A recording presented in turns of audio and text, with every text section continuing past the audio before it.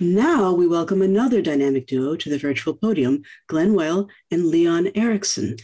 Glen is the author of the book Radical Markets and the founder of Radical Exchange, a social movement that brings together activists, artists, entrepreneurs, and researchers using information technology and market mechanisms to create a richer and more equal society. Leon is an entrepreneurship and technology evangelist at Radical Exchange. Glen will introduce us to the plurality paradigm for funding network goods and illustrate applications to a range of network goods funding approaches. Leon will then detail the application to quadratic funding and Gitcoin. Take it away. Thanks so much for having me here. I'm really excited to present this. My thinking on all this has been evolving quite a bit, as uh, many of you who are familiar with uh, the work on quadratic funding and on radical markets, radical exchange, uh, will see in, in particular, I'm going to try to push sort of the some of the basic building blocks in a little bit of a different direction. And the reason why I think that is um, so called for is that we're in this moment of tremendous uh, possibility. Some people uh, see it from a longer perspective, from the way that technology is going to transform the world and the you know specialness of this moment. Other of us see it from a political perspective that this is a moment when um, democracy seems to be coming apart at the seams, when conflict uh, that we thought was you know gone since the middle part of last century seems to be you know creeping up again, and when new technology seem to offer different ways of organizing the world. Uh, in uh, you know Web three being a leading example of that. Moments like this are what Hannah Arendt, one of my favorite philosophers, called moments of public freedom, when it feels like the patterns that we establish as communities might become the patterns for how we live, um, which are very rare moments in human history. The paradigm that this conference has asked us to take to address this is what you might call uh, public goods. It's the notion that um, individuals tend to be selfish and that we need to come up with mechanisms for coordinating those selfish atomized individuals to work in the common interests of the planet um, human race whatever you want to define as the broader community. I want to encourage us to shift frames a little bit on that and, and this talk is going to be aimed at sort of thinking about how it requires us to change these mechanism designs if we do. So instead, I want us to think about net, networked goods. So what do I mean by that? We're all members of a range of different communities. Um, we might be part of a labor union. We might be members of a nation. We might be in a church or in an ethnic group or in a particular cryptocurrency community, a company that we work for. And um, those organizations already partially help to overcome the coordination problems we have. If they didn't, we would probably be in something like a Hobbesian war of each against all. So rather than the problem being, let's take a bunch of selfish individuals and coordinate them towards the global common good, instead, the problem is that we already have partial solidarity with certain communities, but not with others. Um, and we need to try to both delegate to the communities that already are good at handling public goods for themselves, goods that are relevant to their communities, to take advantage of their coordinating power, and to overcome the partiality, the tendency to only identify with certain sort of subparts of the social graph and to build bridges to other parts to allow cooperation across different. So if the idea here is coordinate selfish individuals towards the common good, the idea here is to coordinate partial individuals towards cooperation with people who they aren't currently cooperating with, but might have an opportunity to do so. So maybe that sounds like a subtle shift, but I think it, it actually fundamentally changes the, the way you approach the design and the primitives that you need and so forth. So like, what do I mean by that? On the one hand, we need to move from a perspective that perceives sort of a list of individuals and the individual's actions to ones that perceives people as living in a network of communities and that operates on that graph and sort of transformations of that graph as the you know conceptual primitive uh, that's dynamically evolving. Um, in the you know individual public good perspective we think primarily about incentives about you know getting individuals to overcome their self-interest to do something. In the what i would call plurality perspective we instead think about something a little bit more like star trek which is people have attachments to these different civilizations that they're part of different communities they connect to. And you need to find ways to build bridges across those communities to overcome their tensions. Um, and you have to fundamentally shift who who's your client. You know in the public goods perspective the, the usual way we approach it is we're going to solve the global coordination problem whereas in the in this perspective instead there's going to be a whole range of different communities each of which will have imperfectly achieved coordination internally and we want to help all of them coordinate better and then help organizations that bridge across them coordinate across them as well so there becomes a much more heterogeneous, multi-level, complex systems structure to, to the problem. And I want to discuss uh, five principles that I think are needed to implement uh, this. The first is what I would call recognition. This is the notion that, that our mechanisms and models need to formally recognize the existence of communities intermediate between the entirety of the world or everything that we'd like to coordinate and the atomized individual. We need to recognize a diversity of community groups that are like a primitive in, in the design space.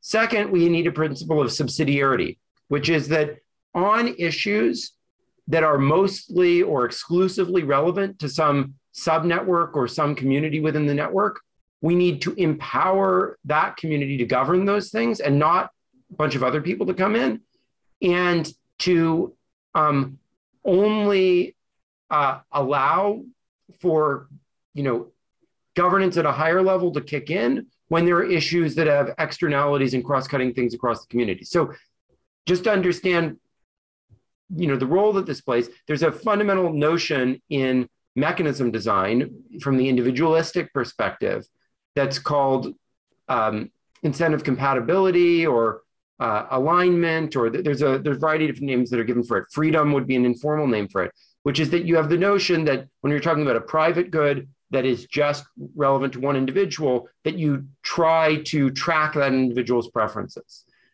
Once you acknowledge communities, you need a parallel notion, but for communities, which is that at every level of community organization, you try to delegate to that community the issues that are relevant to its members because it will be best at achieving um, both the coordination it already has done and uh, to pay for uh, subsidies for additional coordination that needs to occur. Um, the third principle is neutrality. This is the notion that we want to try to have some sort of a formal and unbiased mechanism.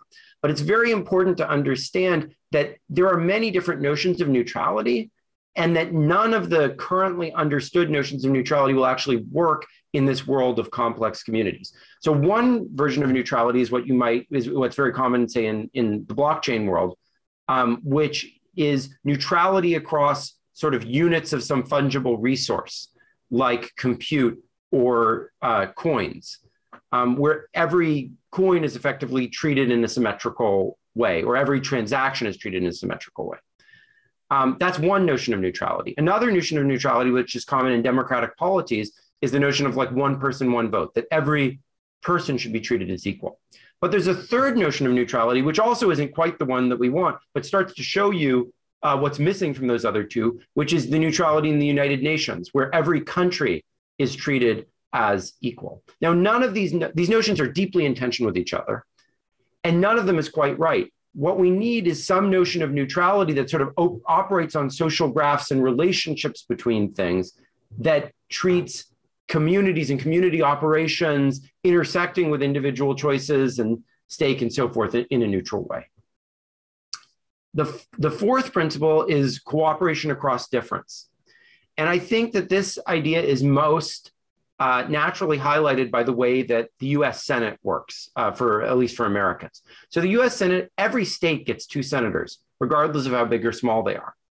And that's based on the notion that um, we want to have some sense of representation by these sort of correlated social communities. So we don't want to, just because one state has a huge number of people, if they're already coordinating well with each other, just give them equal voice to any other state because they're already sort of almost a colluding group.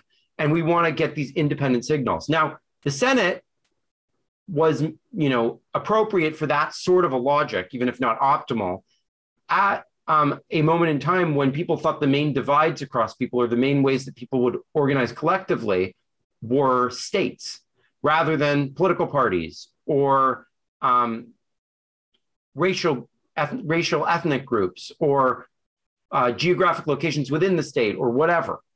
Um, so this is a very sort of outmoded way of thinking about that. But the basic principle, I think, is uh, exactly right, which is we want to subsidize effectively cooperation, even holding fixed any individual profile of preferences or information that occurs across social differences. Other ex- examples along very different lines happen in uh, different social contexts. So in Lebanon, they have a confessional system where there's something similar to the Senate, but across religious groups.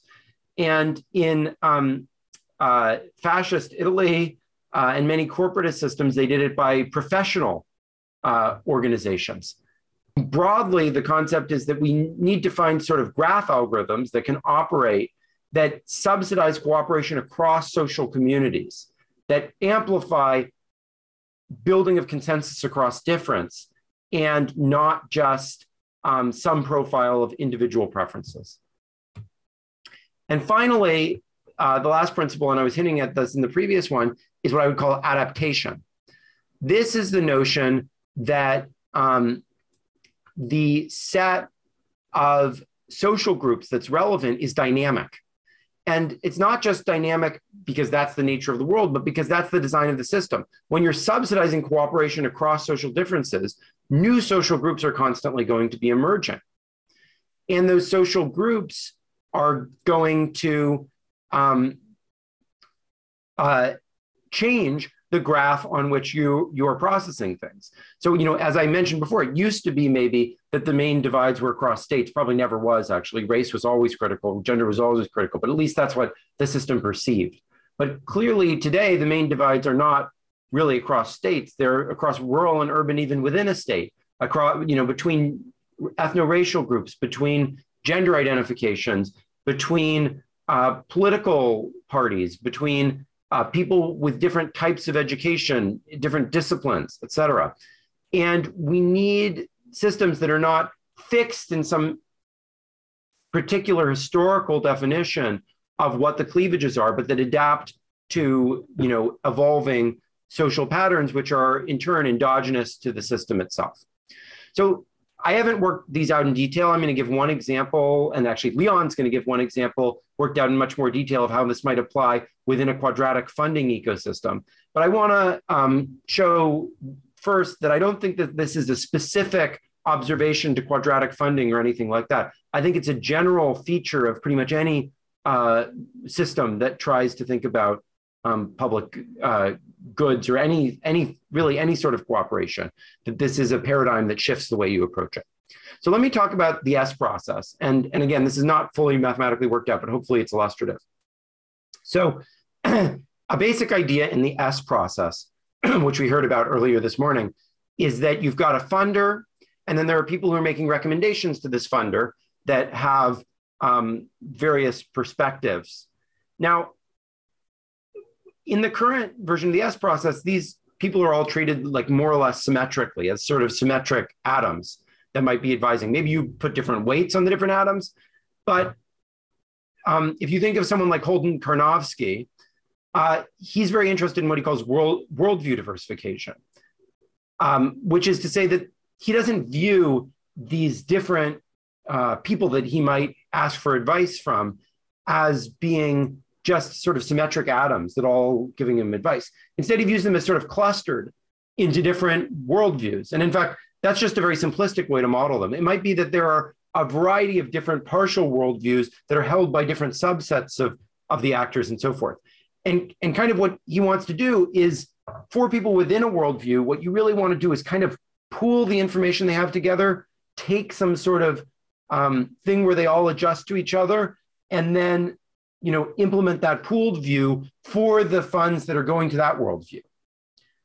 Um, but for things that are across worldviews, you both want to do some amount of that delegation, but you also want to look for overlaps where there are things that even under all those worldviews would still be supported. You want to especially uh, prefer those things. You don't actually want to just treat everyone as symmetrical atoms. You actually want to sort of take their views, both based on natural language processing, the, the preferences they reveal, the, the words that they say, and cluster those into communities and then treat things in quite a different way within community versus cross uh, community. Uh, similarly, this principle applies to retroactive funding. So the way that Optimism, uh, you know, recently did their retroactive funding grants was um, to have this panel of badge holders participate in judging different community proposals. Um, but again, treating all of these as sort of symmetric atoms seems kind of weird. And like making a super sharp distinction between badge holders and non-badge holders also seems a bit weird. Instead, what you might do, and probably what they did do, is choose people specifically to represent different communities that we think should have a voice in this process and are relevant. Like, you know, they could be the Ethereum Foundation, Protocol Labs, Filecoin, Zcash, et cetera. Each of these has various different attachments. You might also care about, you know, ethno-racial diversity, et cetera. But the, the point is that if we have the right algorithms for thinking about community structure, we don't need to just like choose some set of people to be representative of whatever. We could, we could actually explicitly incorporate it into the way that the quadratic vo voting algorithm is structured. The partial pooling of sort of people under the square roots, and Leon will get more into this, uh, the closer together they are in social network space. Um, and this apply I, ideas apply, I think, not only to sort of pure cooperative mechanisms, but also for mechanisms for the allocation of scarce resources, like you know IP, IPFS or Filecoin, especially. So you know the current structure of Filecoin um, is focused on geographic location and price. Um, and everything else that you might worry about, the type of security that they're running, the you know their reliability in various ways, et cetera, is assumed to just be covered by cryptography or some you know universal protocol. And that works for certain use cases, but for many use cases that people are going to have, they're going to have regulatory requirements, they're going to have security, they're going to have a whole variety of requirements that are going to go beyond just uh, the things that can be captured in that type of a thin universal formalism. And you can imagine graphing those things, having people get certificates associated with those things uh, that allow people to do a search over these sort of social network similarities or uh, affiliations, which allow for a much broader use of this distributed uh, file storage or eventually distributed computation uh, model. Unfortunately, this is very hard to execute uh, right now on the current dominant structure of, uh, of blockchain ecosystem because there is sort of an obsession within the ecosystem of making things um, highly transferable uh, across wallets. No sense of these enduring features that promote uh, social connection. Right now, most NFTs, for example, are thought of as these sort of just transferable commodities rather than as things that are attached permanently to people's person, what Vitalik is called soulbound tokens.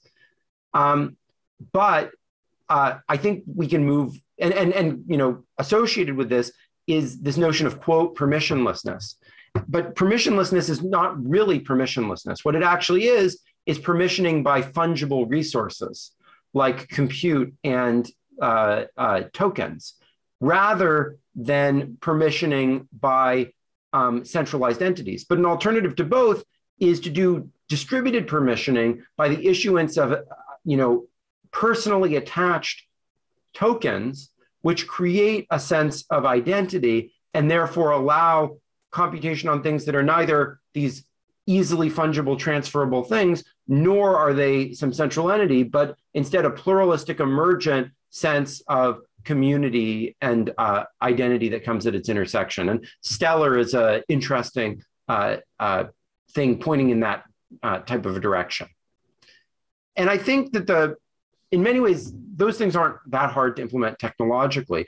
The, the bigger limitation we have is that there's a certain conception of what Web3 is about that is quite prominent, which is associated with um, you know, the book The Sovereign Individual, for example, this sort of instinctive feeling in the space that we want to be anonymous, uh, sort of not too much uh, ability to uh, hold anyone accountable, even within local communities, and that we are sort of want to smash institutions.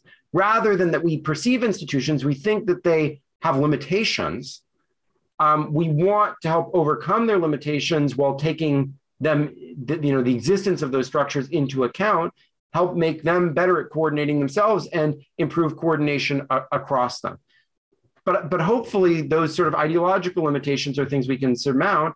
And that's very much my uh, project. So I'm working on a book jointly with Audrey Tang, trying to flesh out this plurality paradigm um, that thinks about these uh, social groups and the way they constitute uh, incentives and individual identity. Um, and I'm both doing that for a book for a broad audience, but also um, working on a trying to build an academic community, a research community around uh, designing and building these tools, and to build it into the sort of uh, technological paradigm and associated research community that we have in things like cryptography and artificial intelligence. So thanks very much. And to try to make this all much more concrete, I'm going to turn it over now to Leon, who will talk about how this could uh, work in the near term in the Gitcoin ecosystem. Thank you very much, Glen. In this talk, I'll uh, try to basically put Glen's thinking around plurality and, and apply to Gitcoin grants, and particularly focus on how soulbound tokens, this concept introduced by Vitalik recently, can, can help us make Gitcoin grants more pluralistic. So for those of you who don't know Gitcoin Grants, Gitcoin Grants is a quadratic funding program for uh, public goods in the blockchain open source ecosystem primarily, but we have also also cooperated with like uh, climate and longevity causes. And um, funding basically helps ecosystems to optimize the provision of uh, public goods by making it way more democratic, self-organizing, and scalable. Um, this uh, flowchart on the left is a yeah, depiction of the of the quadratic funding process in a very individual individualistic way, where you have you know a couple of individuals in the community, Alicia, Charles, and Berta, making contributions to a public cause like fixing the streets or building the playground, and then the match uh, that comes from a philanthropic institution. In Gitcoin's case, it's usually like the Ethereum Foundation or other philanthropists from the space will will match these contributions um, based on most essentially on the square root of the size of the contributions that's, that come from the individuals. So what counts in these formulas in the end is the square root of the size of the individual contributions. And, and these square roots come into an algorithm that will determine the match. So it, what this does in the end is that it rewards cooperation, even if the contribution that you make is just one dollar, like the square root of one is one. So you really kind of maximize your marginal impact. Uh, but you can increase your cooperation by donating a million dollars, but that'll only account for 1,000, like the square root of a million in, in that formula. So it's like in turn, it really harnesses the collective intelligence because it allows people to show the intensity of their preferences in a very proportional way. But there are some dangers to Gitcoin if we look at it in this atomist, like if we view the participants in this the the individuals as like atoms who are separate from each other and just individuals because that's not true right? Like one obvious danger is that like there could even be like fake identities in this right? Like i could being like the devil on the right hand side here set up like a, a bot or like multiple bots who then donate to my project. I give them money they donate to my project. And this way i could basically pump out like an infinite amount of the money from the matching fund towards my project. But there are even harder cases um, like i mean very natural case like imagine like that my romantic partner and i had both a grant within the gitcoin grants ecosystem. We could basically send each other like donations back and forth back and forth back and forth. And this way pump out like almost uh, like infinite amounts from the matching fund. And and same goes for institutions you know if like um, let's say Radical Exchange has a grant and Gitcoin grants, for instance, like if, if like all the like employees and, and very close collaborators would make like strategically donations to Gitcoin grants or just because they like the uh, to to Radical Exchange and Gitcoin grants, I could really like pump out super like get high amounts of matching. But is that really the type of cooperation that we try to reward? I mean, the the people who support Radical Exchange already, the employees and close collaborators um, should like is that really the goal of of that mechanism to allow these highly coordinated groups to to sort of win the game of like getting most of the matching and then same goes for nations if you imagine we really have this global individualistic quadratic funding system uh, Glen described this recently quite nicely on the uh, gitcoin governance forum like you could imagine that if you had like a climate round that probably a highly coordinated nation like China would be able to convince its 1 billion citizens to make a contribution to a Chinese cause or, or force them to do so. And this way, you know, you square 1 billion. This is a match that like that project should get. It's like an infinite amount of money that we'd need to, to match that. And otherwise that just get like almost 100% of the matching fund. So it seems like quadratic funding really has limits if we have this like individualist global view of, of things. And there are like some early plurality mechanisms that Gitcoin has experimented with and, and put in place. One is really just uh, tackling the easier cases, which is a grants verification score, where we ask the contributors to grants to verify their personhood. So really, unfortunately, just this binary question like, are you human or not? There are a couple of platforms like Proof of Humanity or IDENA, BrightID trying to tackle this. But uh, also, we've experimented with a mechanism that Vitalik introduced in 2019 called pairwise coordination subsidies. It's basically just a new quadratic funding design where you can do the calculations uh, based on, on two pairs who donate to the same grant. So suppose that Glen and I both made a contribution, like a donation, as part of Gitcoin Grants program to an IPFS grant. So in that case, like we we just look at isolated like lens, like you see the square root of C, and then Leon to IPFS, like this would be my uh, contribution to IPFS. We take the square root of that contribution, multiply it with the square root of Glen's contribution, and take it times two. We could basically, all the pairs of participants that donate to IPFS could be listed in that way. We add up all these pairwise matches, and this is the total match that IPFS would get. But now we have a cool opportunity to basically adjust the matching weight K for any of the pair of agents given evidence, let's call it evidence A, of how much they already cooperate. And now the question is like, how do we define A and how can we use it? Basically, if if we have evidence that like two people are like highly coordinated, let's say people who live in a romantic relationship, we could basically give them a A value of one, like hundred percent. And if you look at how we compute the k value, like there would be one minus one, so the k value would be zero, and the pairwise match for that pair of people who both contribute to to the same project would be zero. So it's basically like putting them into the same square root. But as k could be like anything between zero and one, we could also have like a something in between, like putting people into the same square root or having them in separate square roots, which is pretty cool. And let's let's see how we could make these quantifications of A, basically the social distance or closeness that two agents have in quadratic funding. So imagine we had like a journal protocol that is bound to to people's souls.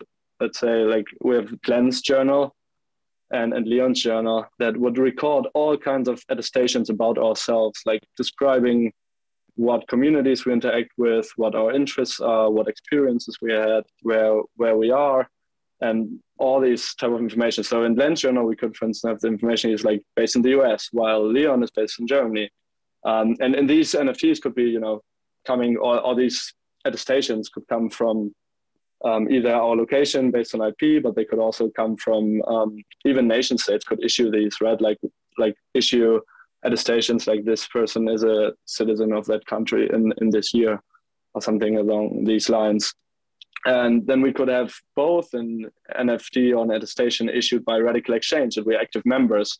It could obviously also be more granular where Glen is the founder of Radical Exchange, maybe could have like a higher weight on that one than I, who is just like a member, evangelist, and fanboy.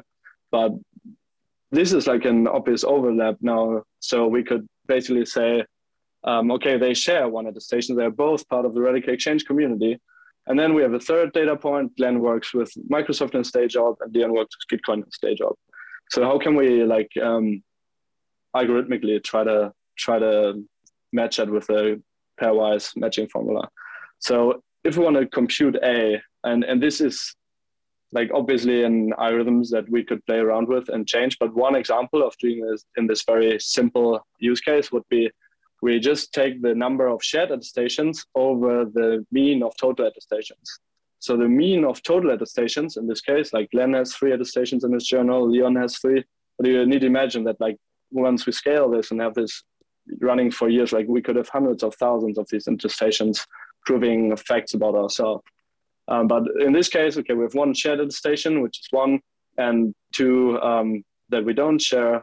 Like, so it's one over three, and we are basically coordinated or altruistic to our world to each other in like one third. And if we tie that back into the K values, like the K value of Glen and Leon, when they donate to to the same project in the same quadratic funding program, um, would be one minus one third, so two thirds. So we'll basically decrease the match by one third, um, and and this way kind of account for the social closeness that that Glen and I naturally have, and and consider that we you know intrinsically strategically care about radical exchange and and both already cooperate to, towards radical exchange causes all the time. I mean, like today having this presentation.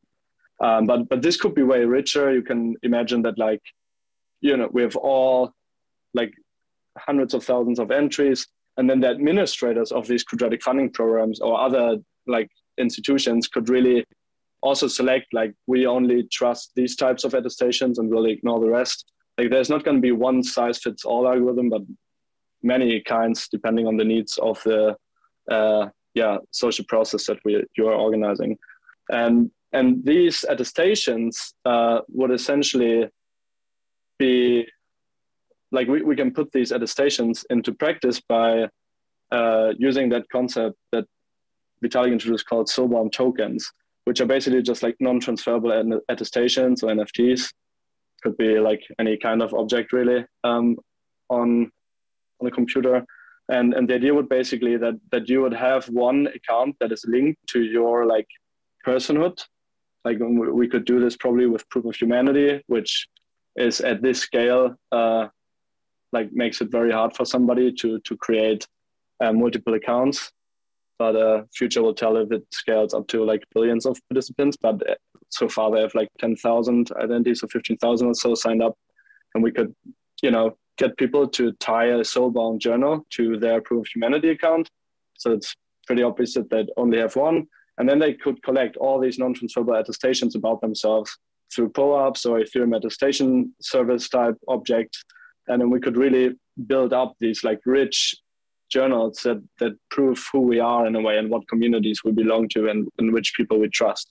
And the goal of this to get a you know, social graph that really reflects uh, the richness of all the intersections that, that people share, like Glen and I share the intersection that we you know, both um, participated in, in the Protocol Labs event today, that both of us participated in the Radical Exchange event in, in 2019 in Berlin. Both of us are Radical Exchange enthusiasts.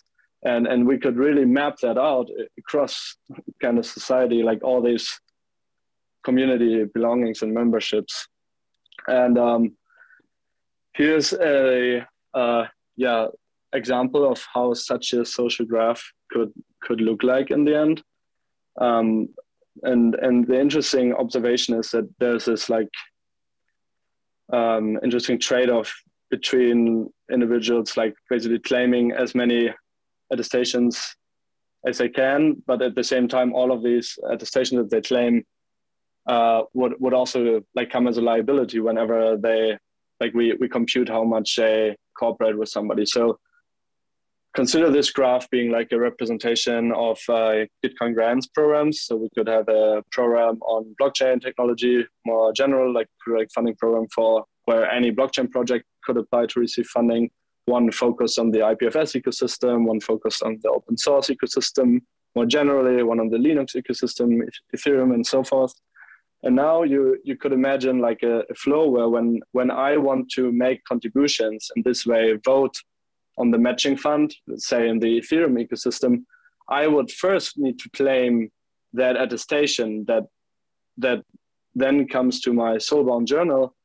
And whenever I've claimed that attestation, I can like I, I would gain voting rights in the Ethereum program on, on Gitcoin grants. Now, if I were to participate, say a week later, in the general like blockchain quadratic funding program for um, of Bitcoin, this would like this Ethereum attestation would obviously be part of my um, Soulbound journal, which the administrators of the Gitcoin grants program could could use to to as evidence in the pairwise matching uh, calculations.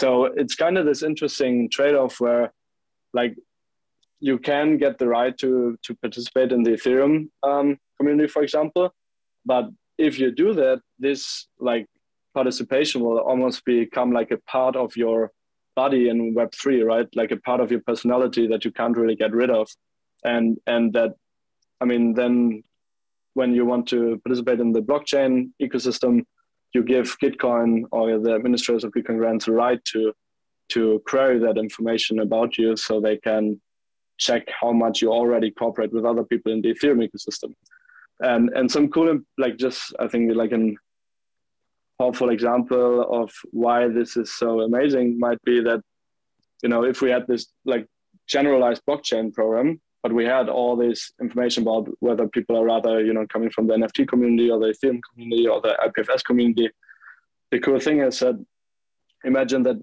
like like with this algorithm the grants that get the highest matching are the grants which are unifying across crypto communities.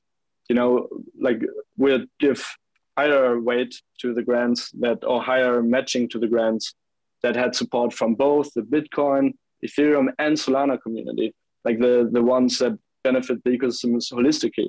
And if we didn't do that, probably just because the Ethereum community is the largest at this point, the Ethereum could basically, the Ethereum community could probably, you know, like move all of the matching funding available to Ethereum causes if we did not have the the pairwise matching formula and and the attestations about you know belonging to the Ethereum community. But if we account for that, we can really algorithmically discount you know donations that that come from the Ethereum community towards Ethereum projects and uh, just match like put high matching to the projects that have um, support across ecosystems, you know, and, and in the end we get cooperation across difference. Um, so this could really, you know, scale to all kinds of institutions, even outside of crypto.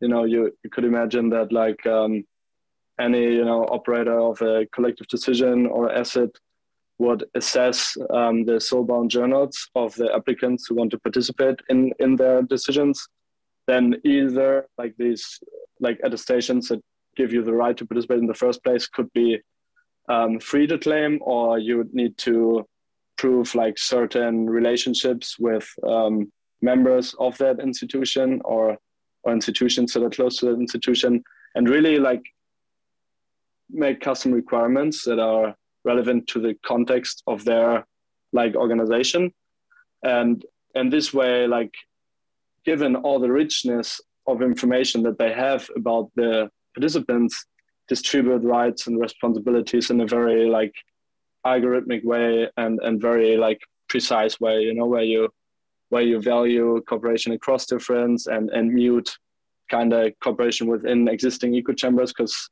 obviously these existing like groups of people who already cooperate don't need much more incentive to to cooperate with each other and um, basically it would be super cool you know if we had this standard of soulbound journals with all these attestations and and any like institution could just query these journals to to distribute rights and responsibilities in their in their um, institutions. Um, besides collective decisions, I think one one interesting like other example is like assets that you know based on how distant you are to an institution, you could increase or decrease the tax rate that that that these uh, individuals have to pay for for using your assets stuff like that. And and i guess there are many more like uh, social applications of of this that we can't even imagine yet. You, you could also use it you know to sort content in in social media or to reward people who who produce content in social media. I guess really the sky is the limit. Um,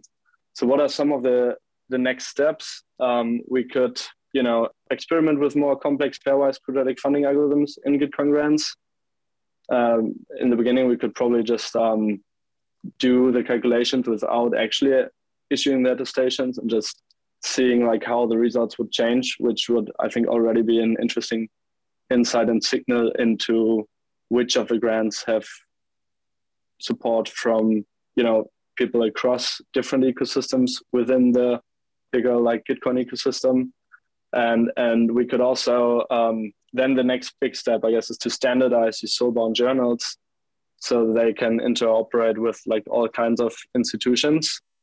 I I can certainly see like how how these journals could be built on top of Ethereum, on top of like a rollup on Ethereum, on top of IPFS or Ceramic. Obviously, these journals would need to be like uh, highly accountable and um, private, ideally, and and in the best case, you know the the controller of that, you know, I, I would only give like zero knowledge access to any institution that wants to uh, check to what communities I belong.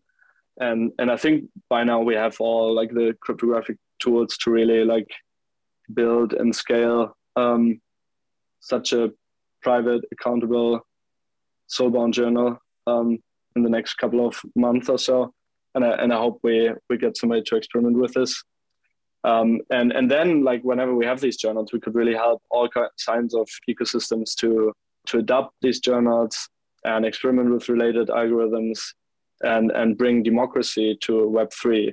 Like right now, most of the as Glen said, like um, social systems in Web three are per, like permissionless, where like only you know computational power or like fungible uh, power as like ether or other assets give you access to to power but uh, this way we could really bring all these interesting mechanisms like quadratic funding quadratic voting partial common ownership to to to the crypto ecosystem at scale while maintaining decentralization you know that we wouldn't need to rely on one issuer on of identity but could actually you know do the identity piece in a very decentralized way and at the same time use that decentralized journal of you know identities to to scale plurality in in the space um, so please feel free to discuss uh, these ideas or if you have ideas how we can standardize these journals on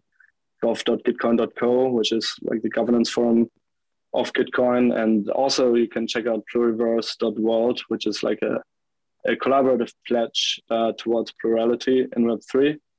And uh, yeah, I'd be happy to uh, collaborate on, on this. Thank you for your attention.